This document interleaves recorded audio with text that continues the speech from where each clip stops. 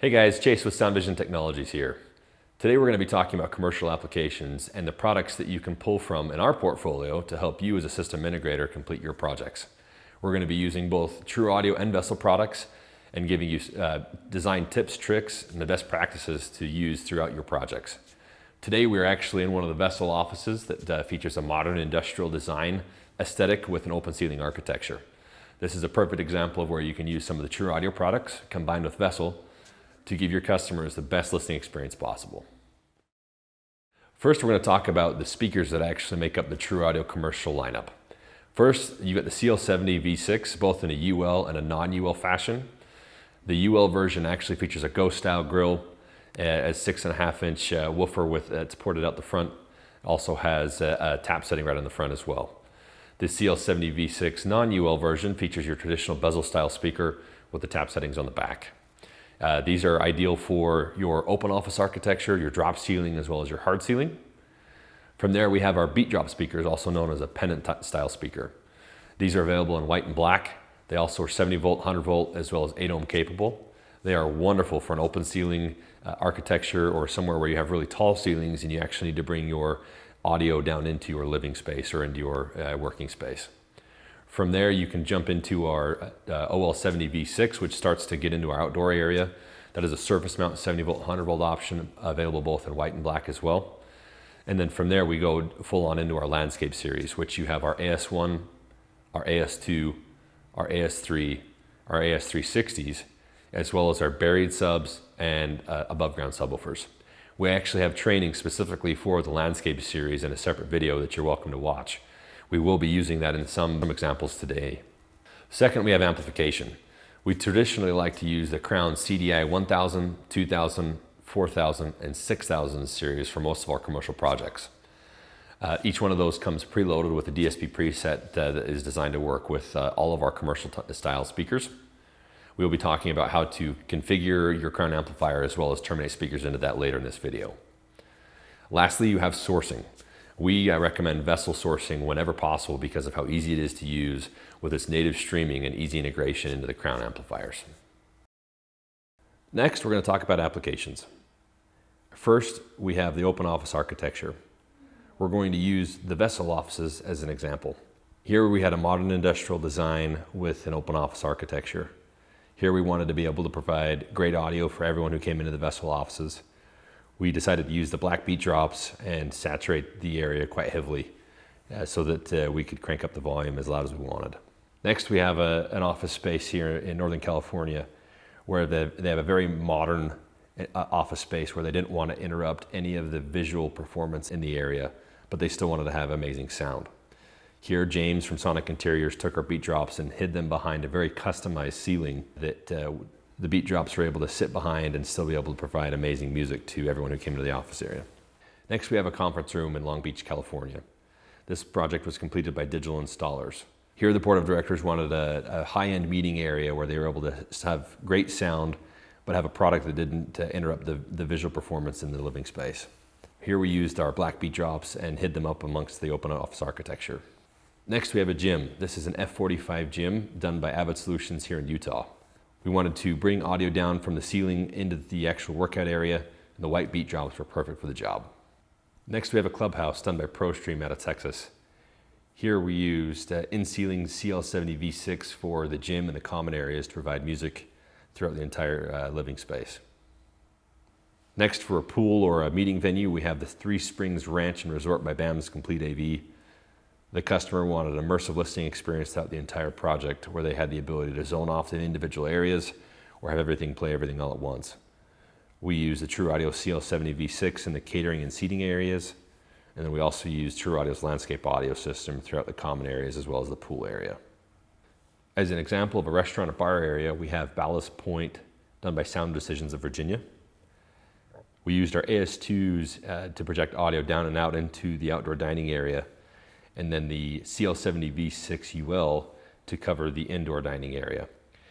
Here the customer wanted the ability to have both background audio as well as uh, louder foreground audio with uh, the placement of the speakers both inside and outside and we were able to give the customer uh, such uh, that functionality.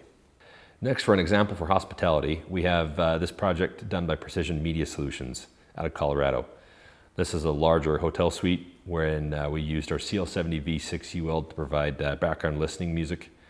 Uh, we also used uh, square grills, which are an optional accessory for the CL70 V6 UL. Here we have a car dealership, uh, also done by digital installers in Long Beach, California. The customer wanted to get away from your traditional pancake style speaker with, with a very thick bezel. We were able to offer the CL70 V6 UL in this application, provide a very modern looking speaker for a, a very high end car dealership. Now we're going to talk about speaker placement in a project. I want to stress that a lot of this design work is going to be centered around the goals of your customer.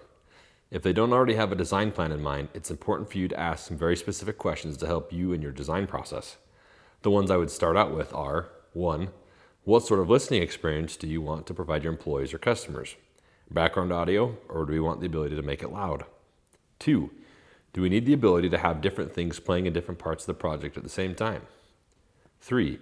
Do you have any constraints on where we place speakers in your project or how they look? 4.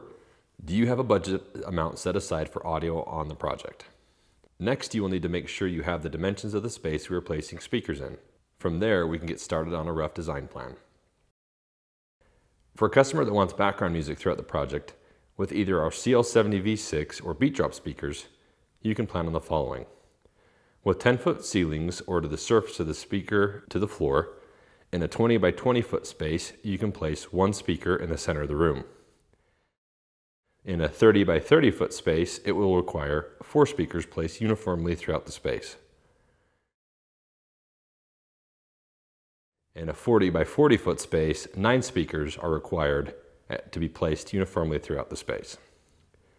If you increase your ceiling height to 15 feet, or to the surface of the speaker of the floor, in a 40 by 40 foot space, you can still get away with one speaker placed right in the middle of the room. In a 50 by 50 foot space, however, it will require four speakers placed uniformly throughout the space. If you increase your ceiling height to 20 feet, or from the surface of the speaker to the floor, in a 60 by 60 foot space, one speaker is only required in the center of the room. In a 70 by 70 foot space, however, it'll require four speakers placed uniformly throughout the space. For a customer that wants a louder listening experience throughout the project with either our CL70 V6 or Beat Drop speakers, you can plan on the following. With 10 foot ceilings or to the surface of the speaker or the floor, in a 10 foot by 10 foot space, one speaker is all that is required in the middle of the room. In a 20 by 20 foot space, however, at only 10 foot ceilings, nine speakers are required to be placed uniformly throughout the space and in a 30 by 30 space, 16 speakers placed uniformly throughout the, the space. If you increase your ceiling height to 15 feet, or to the surface of the speaker the floor, in a 20 by 20 foot space, only one speaker is required in the project. In a 30 by 30 foot space, four speakers are required to be placed uniformly throughout the project. In a 20 foot ceiling environment, you can go up to 30 by 30 and only require one speaker in the middle of the project. Once you go to 40 by 40, you will require four speakers to be placed uniformly throughout the space. The reason for the variation between these examples is predominantly two things. First, we leverage ceiling height to help the sound dispersion. The higher the ceiling, the more uniform the sound travels throughout the project. Second, speaker saturation. The way to help drive volume levels with commercial projects is to add more speakers to the project. For zoning, with the VSSL A1 and Crown, it has never been easier. For each zone where you want to have an independent volume control and different things playing, you will need a separate A1 and Crown amplifier. In commercial applications, it is far more common to run speakers in 70 volt rather than 8 ohm. The difference between these two architectures is the method in which the speakers are wired up. The 8 ohm architecture requires a speaker cable to be home run to the amplifier for each speaker, whereas 70 volt allows you to daisy chain each speaker together, tying the positive conductors together and the negative conductors together. This is accomplished by using a transformer with each speaker that converts the carry voltage into an 8 ohm signal.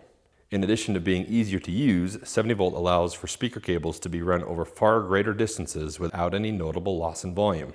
whereas 8 ohm can only be run a couple hundred feet before you start noticing significant drops in volume. Now that you know how many speakers and zones your project requires, we can pick out the amplifier and sources best suited for your project. In order to do this, you need to know how to size your amplifier. Let's start with the Crown CDI 1000. And looking at its specifications, you can see that it has two channels that are both rated at 500 watts per channel. Best practices suggest that you never load your amplifier greater than 80% of its rated wattage capacity. For the CDI 1000, that means that each channel should not be loaded more than 400 watts. Now take a look at the max wattage or tap setting the speaker you are using in your project is capable of. For this example, we will use our beat drop.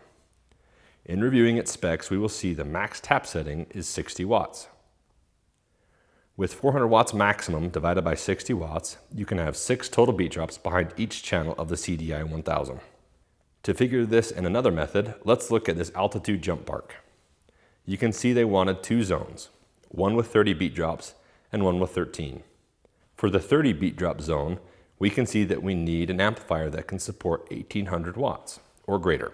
In reviewing the available Crown CDI models, we can see that the only available option would be the CDI 6000. For the 13 beat drop zone, we can see that we need an amplifier that can support 780 watts. From our first example, we know the CDI 1000 can support 800 watts total, but can only support six beat drops per channel.